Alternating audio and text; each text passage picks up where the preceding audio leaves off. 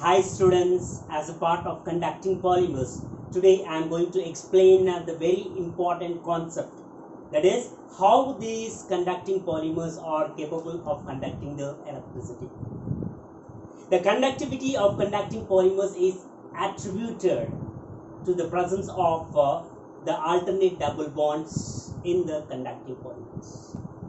That is, due to the presence of conjugation present inside uh, the conducting polymers. Now, what do you mean by conjugation? Conjugation is nothing but uh, the presence of uh, alternate double bonds. Now, already we are well versed that uh, the double bond is a combination of one pi bond and another sigma bond.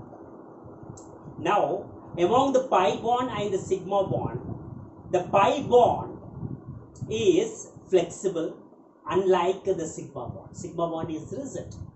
Now, since pi bond is flexible, whatever the electrons which are associated with the these pi bonds, as it is a pi, as it is a conducting polymer, comprises so many pi electrons.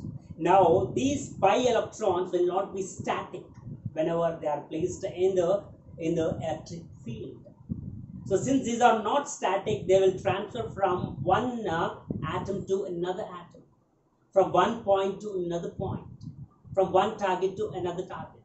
Now, during uh, their uh, traveling or transferring from one atom to another atom, they will carry the charge along with them. Now, whenever within the substance, the charge carriers are carrying the charge, so definitely that particular substance will become capable of conducting the electricity. So this is the theory behind uh, the conductance of uh, the conducting polymers. Now in order to simplify the things, that is in order to understand uh, how the conducting polymers are uh, basically capable of conducting the conducting polymers, I am going to consider one example that is how the polyacetylene which is the conducting polymer will conduct the electricity. That is conductance of uh, the polyacetylene or conduction of polyacetylene. So with the help of this uh, polyacetylene, with the help of this uh, conducting polymer, actually it is intrinsic conducting polymer. What is intrinsic conducting polymer? I have clearly explained in the classification of conducting polymers. Right. Now, coming to the structure of polyacetylene. Polyacetylene, just you need not to become panicked by seeing the structure of uh, the polyacetylene. Now it is the conjugated molecules. It is the conjugated molecules. And what do you need to read? Right? Do is just uh, right, one one crest trough, crest trough, crest trough, crest trough, crest Now it doesn't mean that only one, two, one, two, three, four, five, five crests are present in the polyacetylene. One, two, three, four, five, five troughs are present in the polyacetylene. Because it is polyacetylene, it is a polymer students. Since it is a polymer, n number of crests and troughs are a part of this polyacetylene. n number n number. N number. N number. N number. Now in order to simplify the things what i will do is i will give the numbering to these uh, carbon atom. Because each carbon that is each corner is nothing but the carbon string because it is the organic molecule. Now in the organic molecules we are well versed that uh, each corner is uh, the carbon so accordingly, each corner is the part. So this is the first carbon, second carbon, third carbon, fourth carbon, fifth carbon, sixth carbon, seventh carbon, eighth carbon, ninth carbon, tenth carbon, eleventh carbon. So keep in the mind that it is a polymer since it is a polymer it only it not only comprises the 11 carbons here am mentioning only the 11 on the board, it doesn't mean that only 11 carbons are a part of this uh, polyacetylene, of this conducting polymer. So many carbon atoms are a part of this particular uh, conducting polymer, which is so called as polyacetylene. Now, already have discussed that this particular polyacetylene is a conjugated molecule. Now, what do you mean by conjugated molecule? The conjugated molecule is the molecule which comprises the alternate double bonds. Which comprises the alternate double bonds means double bond followed by single bond followed by double bond followed by single followed by double bond. So, so accordingly, so this is double bond followed by single bond followed by double bond followed by single bond followed by double bond followed by single bond, followed by double bond, followed by single bond, followed by double bond. Now, in this manner, so many alternate double bonds are present in the polyacetylene as it is a polymer. Now, already have discussed very clearly that in the double bond, in the double bond, one so let us say that these are uh, the two bonds. The one is depicted by the blue, uh, sorry, black line. Another bond is depicted by the red. Now let us say that the black one is uh, sigma. Black one is sigma, whereas the red one is uh, pi bond.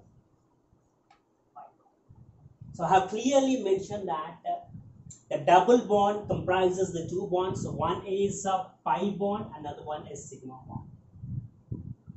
Now among the pi and sigma bond, which is uh, flexible, the pi bond is flexible because already we are well versed that uh, the pi bond is resulted by the lateral overlapping of orbitals. So since pi bond is uh, resulted by the lateral overlapping of the orbitals, so definitely the pi bond is flexible with respect to the sigma bond. Now since pi bond is flexible with respect to sigma bond, they are not static. They are not static. Now if this polyacetylene is placed in electric field, in electric field, it is placed in electric field. Now what happens is, as already we have discussed that the pi electrons are uh, flexible in nature, they won't be static at that one particular position. Since they are not static at one particular position, they will transfer from one atom to another atom.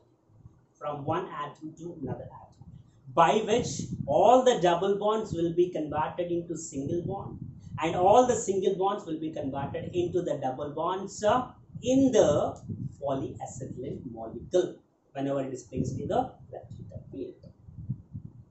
Now what happens? So these pi electrons will shift to this single bond this pi bond shift to this single bond. This pi bond shift to this single bond. This pi bond shift to this single bond. This pi bond shift to this single bond. Whenever it is placed in Now what happens students? That is uh, the electrons are shifting electrons are shifting or transferring from one carbon atom to another carbon atom.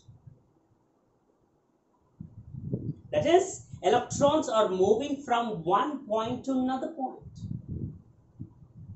Now, what are these electrons? Electrons are the charge carriers.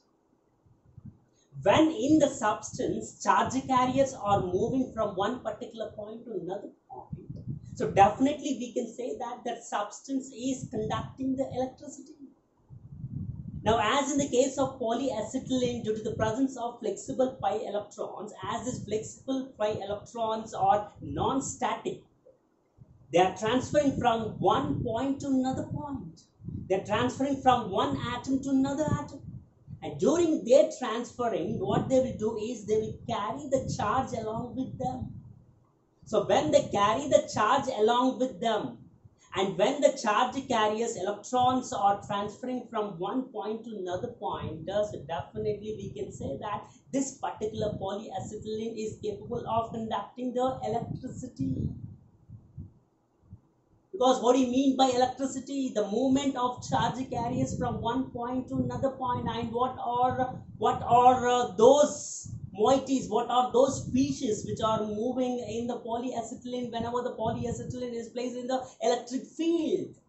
Pi electrons are moving and pi electrons are the charge carriers and charge carriers are moving from one point to another point. That means it is conducting the electricity. So now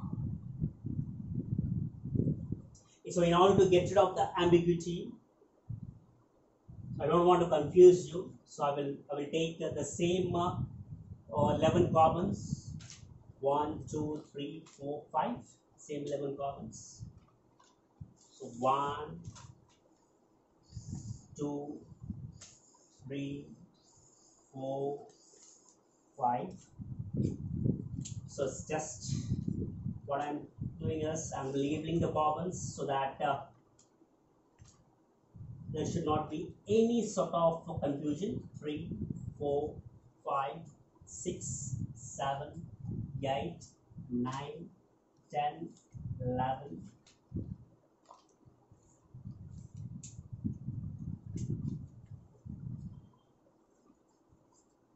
now what is happening?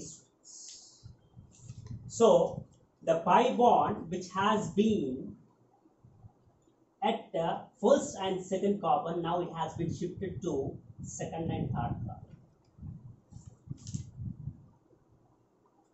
Now the pi bond double bond which was uh, between third and fourth carbon has been shifted to fourth and fifth carbon.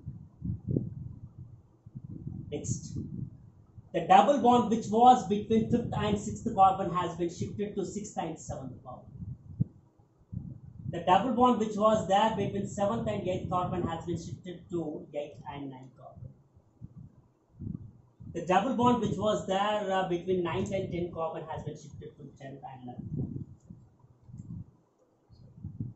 So it is not losing its conjugation students. Conjugation is uh, in that fashion only.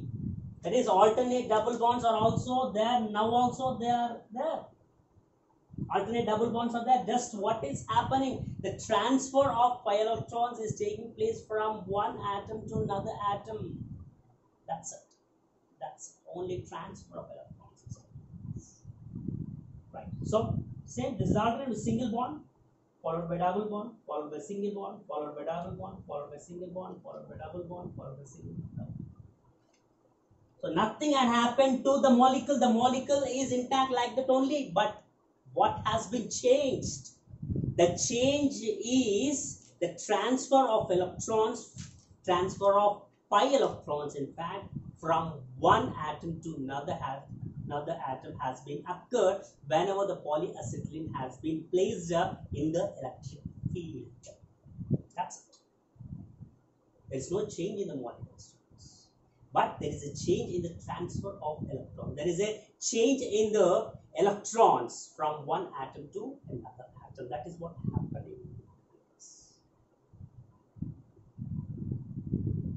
I hope you understood this concept. So this is how this is how the conducting polymers are capable of conducting the electricity.